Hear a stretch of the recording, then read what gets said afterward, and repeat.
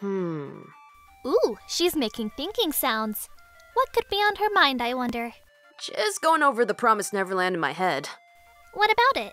Trying to come up with something we could do an episode on. Uh, I think I might have something. Oh, great! Then shall we get started? Sure thing. Hi, hi, everyone! Hey guys, Looks like you're in for a treat.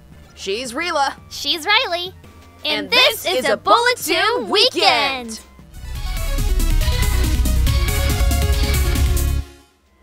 To start, a bit of background. The first time I'd heard of TPN, I was browsing the manga section in our local comic book store, and one of the guys recommended it. But he was super vague about it, so I just decided to check it out some other time after doing my own research. After looking into it, I wasn't really all that interested. Then, this past winter season, the anime came out, so I decided to check it out, and man, was I not expecting to like it as much as I did. Yeah, I mean, it's basically Killing Kids, the anime. It's a hard sell, but it's really engaging. Though I still wouldn't go as far as to call it horror. It's more of a psychological thriller. And later, it even kind of sheds that aspect and becomes more of a standard survival shonen. True, but let me ask you something. What's the Promised Neverland actually about? Huh? Well, I guess if I had to say, then. I read it as a story about second chances and finding the hope to struggle and survive through intense hardship for one's family. Pretty standard shonen stuff, you know. For sure, I'm inclined to agree, but I think one thing it definitely isn't is a tale championing the benefits of a proper education system. No kidding. I I mean, yeah, it seems obvious when I word it like that, but think about it. The Promised Neverland is seriously a perfect metaphor for the education system. Uh, Probably entirely by accident, but still. Now that you mention it, I can totally see that. There's actually a lot of stuff to support that idea. Even going into the manga past where the anime left off. Definitely. Uh, Which reminds me, anime only people, we're gonna be talking about some stuff for the manga, so this is your spoiler warning. First of all, think back to the first arc of the manga. How much do we actually see Isabella teaching the kids anything? Come to think of it, pretty much never. Not on purpose, anyway. The most we see her kinda teach is how to play strategy games and stuff. We don't even get to see the kids studying at all. Right? Pretty much all the time we ever even see the kids, it's during playtime, breakfast, or bedtime. They obviously have a classroom, but at no point is Isabella shown lecturing them at all. Everything we do see her teach is purely recreational, things like chess. And it's a pure coincidence that those lessons wound up being her downfall. Well, kinda. That and shoddy writing. Harsh, but not necessarily untrue. It's probably just something they did to save time. Seeing her teach and stuff isn't really that important, from a storytelling standpoint. But it is pretty weird. Though, if we wanted to add fuel to the fire, there are very real reasons a lot of teachers are unsatisfied with their jobs. It's a tough job, and teachers are, by far, some of the most underpaid and underaccommodated professionals in the world. For many, they see a job that has little stability and no real future. Tell me something. Who does that sound like? Isabel. Oh. Oh, I get it. Yeah. The most we really get on their education is the tests. Speaking of which, did you notice the same thing that I did about those?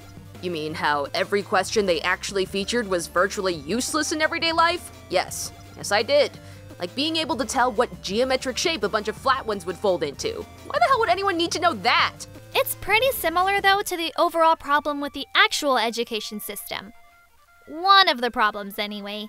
A lot of the knowledge you get out of public education is pretty much pointless. And that's completely setting aside how apparent it's becoming that standardized tests aren't a good way to gauge a person's intelligence.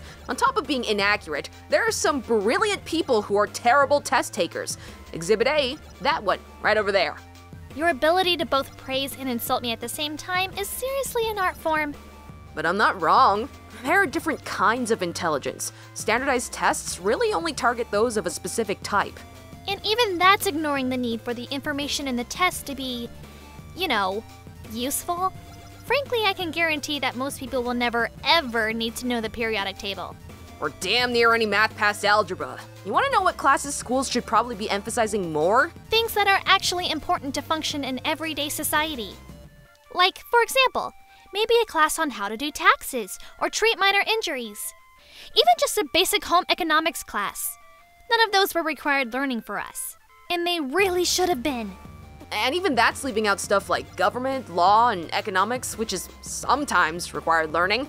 But standardized tests pretty much only target math and reading, occasionally throwing in some science and history, at least when we were going. Now, if we think back, we can't exactly be sure how much of what the kids learned from their classes and how much they just read in the library.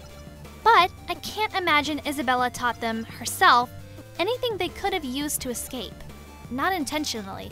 Making ropes out of bed sheets and tablecloths, for example. That is one hella specific skill that I can't imagine her teaching them, especially as someone who'd already tried to escape when she was a kid. So it's highly unlikely that stuff would have been on the tests. Everything we saw in them was basically just arithmetic.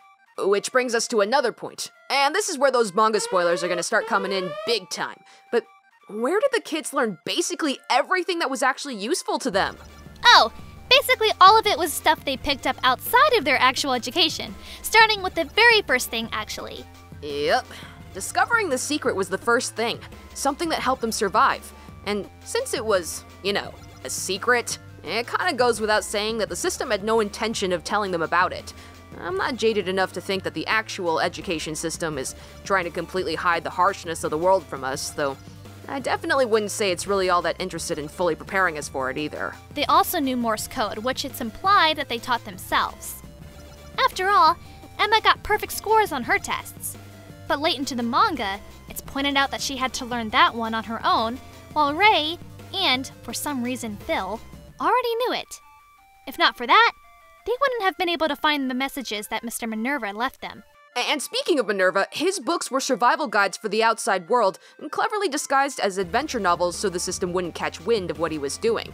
Another example of outside help. And it keeps going from there.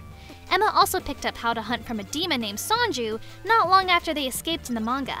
And Yugo, even later in the manga, taught them how to rough it in order to survive in the wild, especially among wild demons. It's a lot like how things work in the real world, frankly. All the most useful things we're either expected to figure out for ourselves or learn from people with experience in that regard outside of school.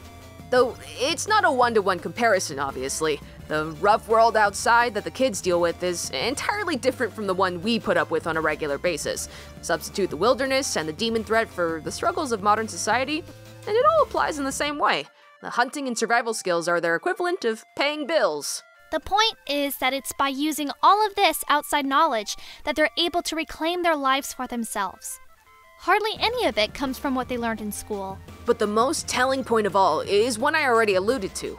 Upon their graduation from this system, they're basically thrown into a cold, brutal world that, in their case, is literally ready to devour them at any given moment. And if that's not a perfect summary of life on your own, I don't know what is. To be fair, there's a lot more to be said about the actual system. Stuff we won't really get into here because, well, it'd get a bit heavy. But the kids wind up relying more or less entirely on themselves after a certain point. They struggle, they get knocked down, they pick themselves up, and struggle some more. That's just the hand they've been dealt. The education system didn't prepare them for what was beyond those walls. Not even a little. And that's the reality they find themselves constantly fighting against while pursuing their dream of a happy, stable life with their family.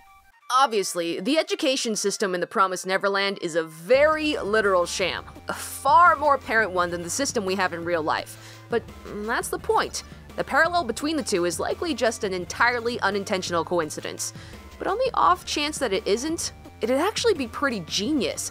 A lot of it adds up pretty well. Not genius enough to save it from Mob Psycho 100, though. Shut up! I'm telling you, it was rigged! Rigged! Sure. But yeah, I'd be pretty impressed if all this was on purpose, applying the typical shonen formula to the concept of education failing us and leaving us unprepared for society. The Promised Neverland is a lot of things a brutal tale of survival, the touching story of a loving family, a twisted PETA wet dream. And, above all else, an unintentional metaphor for the education system. What do you guys think of it?